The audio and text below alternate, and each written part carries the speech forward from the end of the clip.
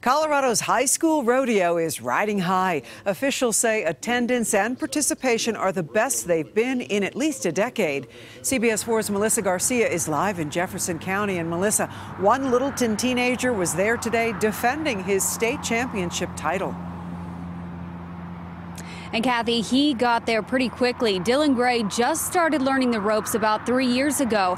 And today, here at the Jefferson County Fairgrounds, he showed him how it's done. Lift, lift, lift. Dylan rides. Dalton ropes. And Kendra races.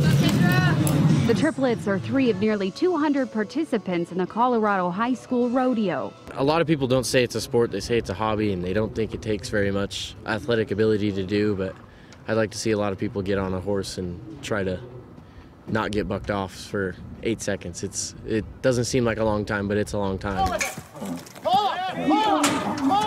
Dylan is one of the best bareback riders in the country and hopes to soon score his second year in a row as Colorado's high school state champion. For his brother Dalton, the sport is more about friends and family. Sibling rivalries all the time. Keeps you motivated. Just here together as a team and they perform for a team, but they're not competing with each other. Mom Heather Gray says the three teens hit the road almost every weekend and stay equally busy during the week. I think it teaches them a lot of um, good skills, life lessons, taking care of animals. The 17 year olds are all heading off to different Colorado colleges after graduation in spring. Dylan will head south to La Junta on a rodeo scholarship in livestock production.